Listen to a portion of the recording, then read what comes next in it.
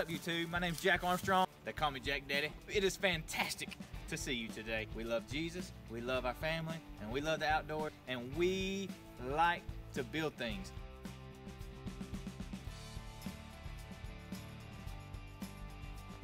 Uh, so come along as we build things, come along as we try them out, come along and I'll show you how you can build them too. And don't forget, like and subscribe. Are y'all ready? Oh yeah!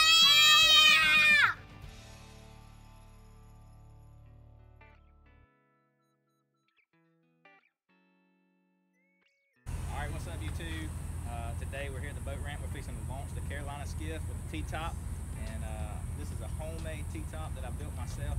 And uh, follow along in this video, I'm gonna show you how I did it. So the first step we're gonna do is take some measurements around our center console and uh, just kind of see where we want it to be as far as the base of the width. So what I've got is 22 inches apart. That's gonna be at the base.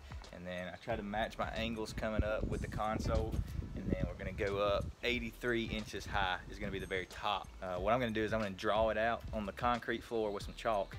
And then I'm gonna try to get one side of this thing bent and laid out how I want it uh, with the aluminum. And then uh, when I do that, I'm gonna just match the other side to it and then we'll worry about going across the front and that and the top and the width of that kind of stuff. Right now, I guess we're working on the length. All right, I've got it drawn out on the concrete floor with some chalk and basically I wanna bend me that aluminum conduit to fit like that. Uh, this one right here is at 30 inches to the center. That's gonna give me a good standoff height for my center console on each side. And then that up there is gonna, that's gonna be the handle right here. It's just gonna be a handle. And then those are just gonna be braces uh, that make it look cool. And that one's gonna have a little bit of a radius in it. And that one's gonna have a little bit of a radius going to the front of the support. So this is gonna be the front, this is gonna be the back. All right, so you can see I got it bent uh, and it fits right around the edge. So our next step will be to cut the bottoms off and the top off right there, and then we'll start laying in pieces in between. Got it bent, got it tacked. I want to set it on the boat by the helm just to make sure it's what I want. And I'm gonna go ahead and bend the other side. And then after that, we'll work on the top, get the top bent, and then we'll work on putting them together. And there they are, stacked up on each other. Both tacked, everything looks just right. Uh, up there, like right in there. The bottom one I'm gonna have to bend, I mean the top one I'm gonna have to bend just a little bit more to get my angle out a little bit further. All right, now we're bending the top. Uh, that'll actually be the top of the T-top. We got some starboard we're gonna put on this. We're gonna have two 45s on each side that bend to the front. And uh, so 45 here, 45 there is gonna give me my 90, and it's gonna make the front look a little All right, day two, working on this, working on the top.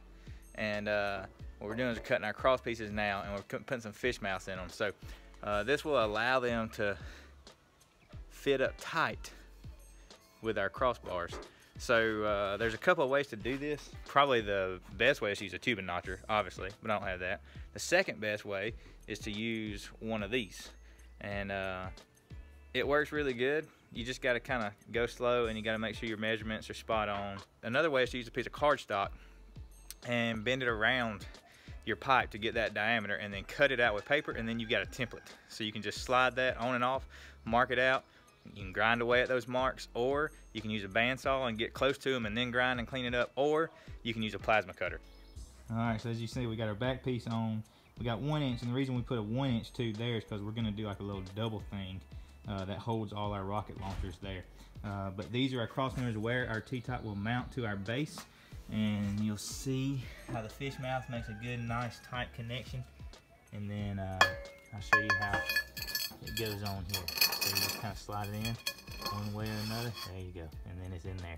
So then you can weld that up and that's gonna make it that much more strong. See on both sides. All right, so we got the top tacked up. Next thing is gonna be to put some fish mouths in the top of our post frames and uh, and then we will turn those upside down and we'll get us a nice square and a level and we will get this mounted on that.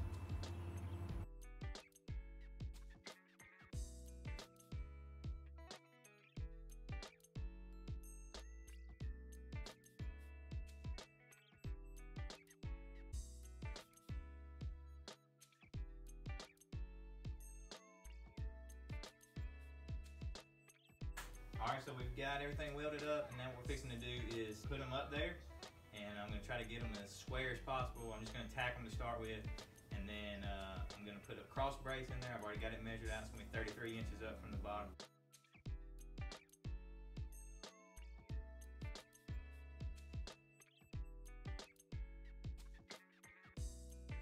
So we just put it up there just to kind of get an idea of how it looks. And this thing is awesome. So what we're gonna do now is take the T-top back off, weld up all my spots that were tacked up, and I'm gonna finish putting my uh, final bracing and the handles and the rod holders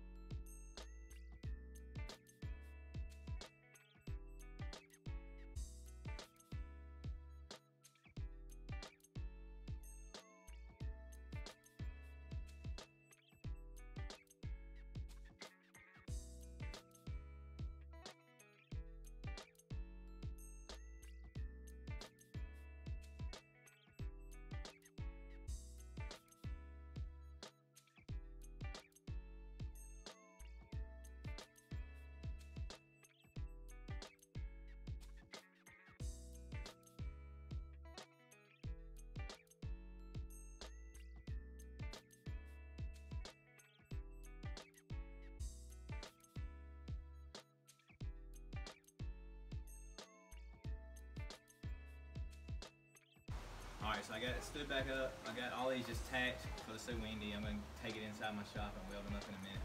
I've got uh, the rod holders tacked on on both sides, and then I got the bases uh, tacked on. So that's just a couple pieces of quarter inch plate that I cut out with the plasma cutter, made them round, and then we'll drill some holes through those and make some countersink uh, holes so that some you know screws will fit down level with those. Uh, now what we're fixing to do is make my standoffs. So I put it in the boat, make sure it was fit how it was supposed to. It was perfect. And I measured my standoffs. So uh, come over here, I'll show you how I'm gonna make my standoffs.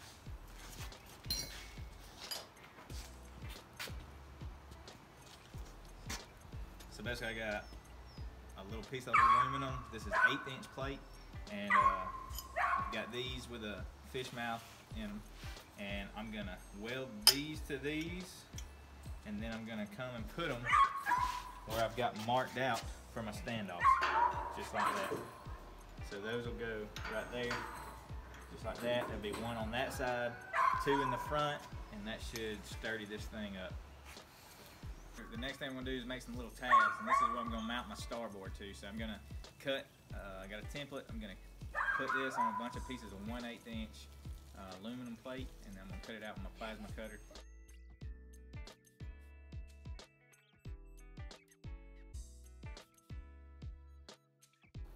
And there's the stack of tabs. All right, so we're taking those tabs that we cut out and we're welding them onto the top of the T-top. Spacing them all out and then we'll drill some holes in there all around and that's what our starboard will mount to. We got everything uh, welded up how it's gonna be. Uh, that part is done, got our tabs, got our holes drilled. And now what we're gonna do is take a little stainless wire brush, get all the soot off our welds, and then we're gonna take a little sander we're gonna get it nice and smooth and uniform all over.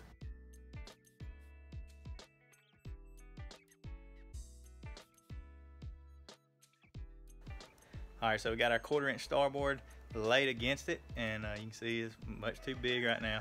So what we're gonna do is we're gonna measure this bottom side first and like cut it. That way it'll sit down level and then we'll trace like around here, you know, across the side right there.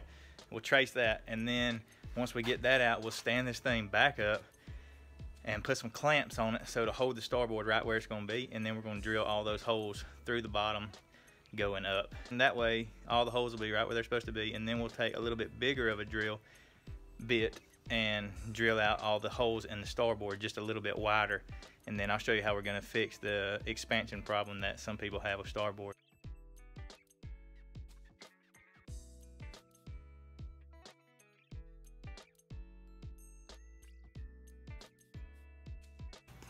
All right, got the starboard up there, got it cut, uh, sanded off the corners a little bit, the edges, and then I've got some clamps holding it in place. So what we'll do is we'll come to all our tabs, our mounting locations, and drill straight up through there. So we got the top laying here uh, with our holes in it, and what we're gonna do now is uh, those holes are one quarter inch. So our bolts for the top are one quarter inch bolts, stainless bolts with some finish uh, finish washers on top and then lock nuts on the bottom. What we're gonna do is we're gonna take a piece of this tube, which is a one quarter ID, 3 8 OD, and uh, we're gonna encase those screws or those bolts with this tube. And that way, that's this tube has got just enough give and flex. So with that starboard heats up and expands, cools off, contracts, whatever, whatever it does, if it moves just a little bit, this right here will give it enough room to move, but it won't give it enough. Uh, it won't be like so much room that it'll just constantly be shaking and moving all the time. So this will hold it still while allowing it enough room to move. So we're going to drill out all those quarter inch holes to 3 8 inch uh, OD, which is what this tube is, and then uh, we will cut these in just quarter inch sections. So uh, you know, it'll fit down in this hole and then we'll put the bolts through this and the hole and then we'll bolt them onto the top. One last step we're gonna do before we put that top on is tonight we're gonna put a layer of like Lexel all the way around this thing and uh, not thick. I mean, it's gonna be just real thin. It's not gonna be for waterproof.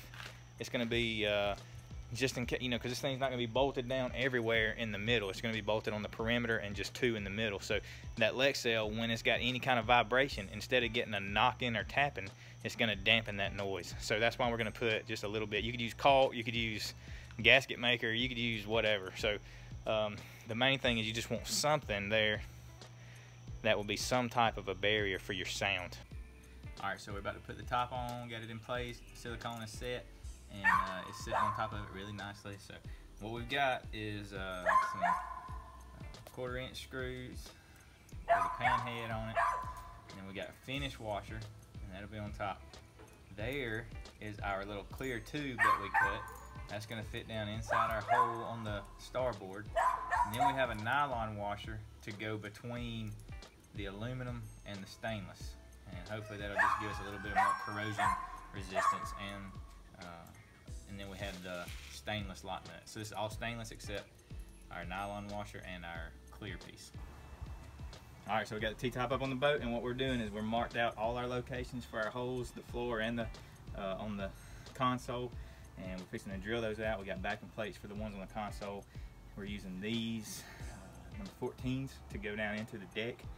We're gonna put some 3M on there before we put it on there in the holes, all under it, whatever. And we're gonna set these down, put these in there, uh, basically what you want to know if you're to do this is when you mark your holes for the floor, make sure you run a little bit in reverse for your drill. That way you're not just eating right away at the top top layer, your gel coat, fiberglass, whatever it is. So uh, you don't want to spider crack that. And I'm taking one of these and I'm running it down in every hole before I put this down. That way I've got some threads already initiated in my hole.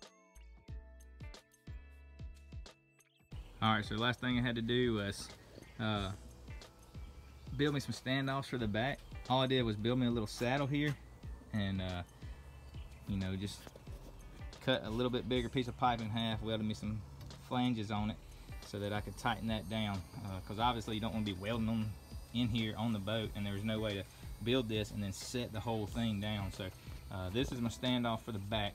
I got one on each side that goes down to uh, right under there. And that black soot's just from the MIG welding. So uh, same on that side, it comes down.